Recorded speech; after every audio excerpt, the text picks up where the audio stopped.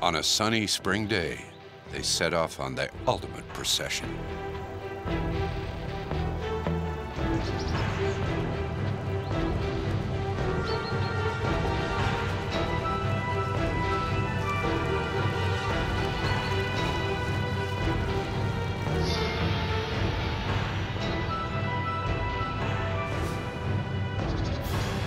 The silk thread woven by each caterpillar in its wake is what links them together.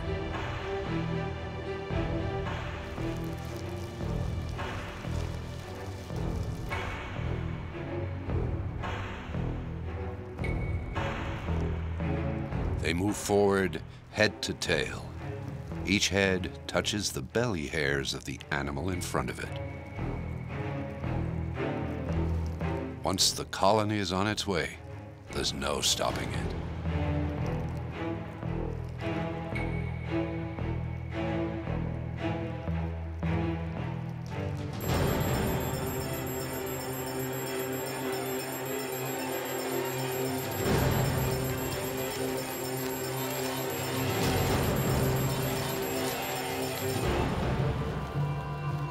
Female is always at the head of the procession.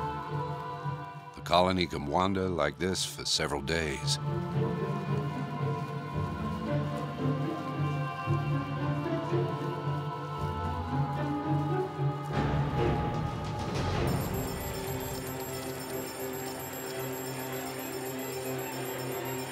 The processionary is at its most dangerous during this phase, when the forward march is in open terrain. If it senses a threat, it releases hairs that are coated in a highly irritating substance. These lightweight hairs float in the air and contaminate the zones around the nests. This venom can be harmful to both animals and men.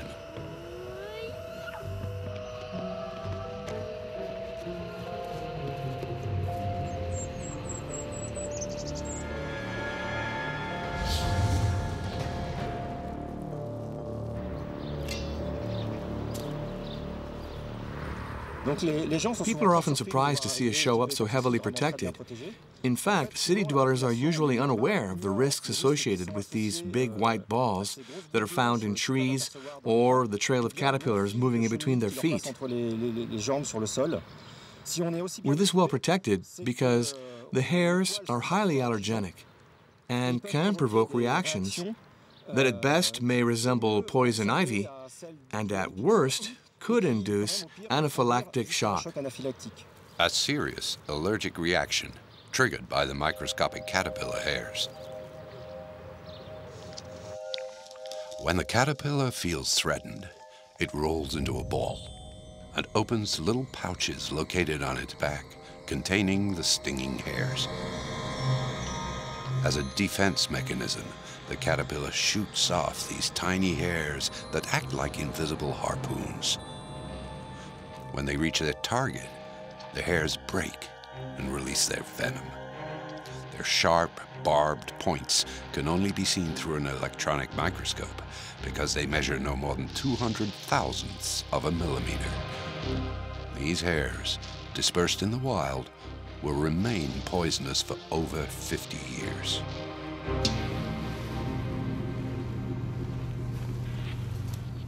Huge quantities of these hairs get caught in the silk threads of the nest, turning them into time bombs.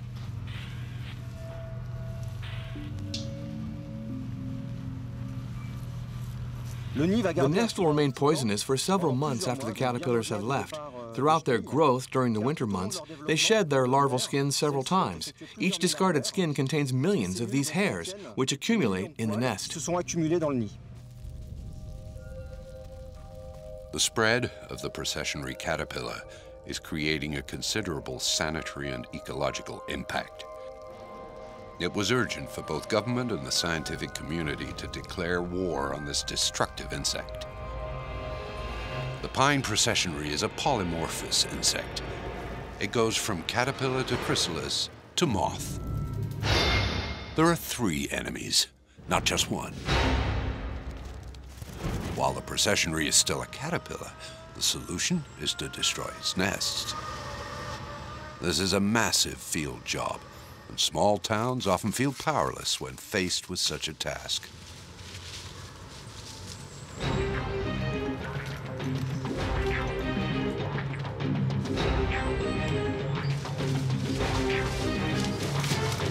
And it's not a foolproof strategy. The moment has to be well chosen. Caterpillars are unpredictable fighters. They're capable of abandoning their nests earlier than expected. Fighting such a clever adversary requires a certain amount of cunning. As soon as the enemy leaves its silk fortress, it marches in neat columns.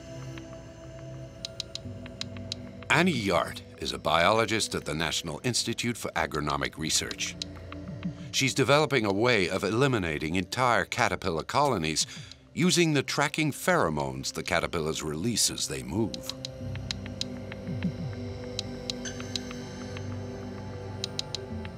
For the caterpillar, these tracking pheromones are a matter of life or death. From the earliest stages of its development, it must scatter in order to feed itself. The tracking pheromones allow it to find its way back to the nest that protects it from the cold. I have spread tracking pheromones on these strips of paper. Now I'll put the caterpillars on these strips. You can see that they're following the scent. They move their heads around from time to time, searching for their trace. The caterpillars follow a path of chemical traces left behind by fellow processionaries. According to the scientists, it should therefore be possible to influence the caterpillar's migration and lead them to a dead end.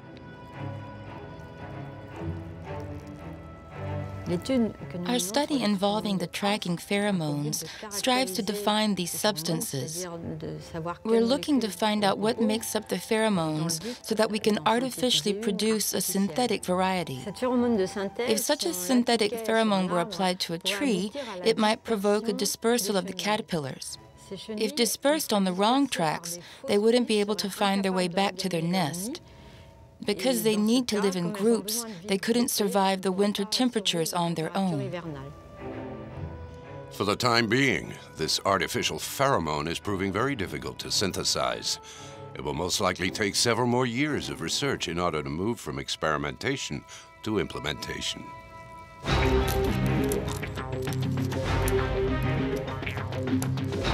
There is another possible strategy on the battlefield using the enemy's own weapons against him. For example, the processionary caterpillar, who can only move forward in a straight line, is kept going around in circles thanks to a simple plastic tray. Instinctively, they need to sink into the ground. A bag of soil will fool them and trap the entire colony.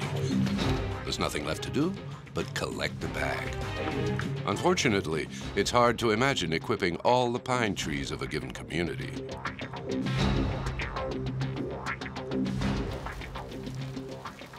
Those who escape the trap continue their procession, guided by their innate desire to sink into the ground.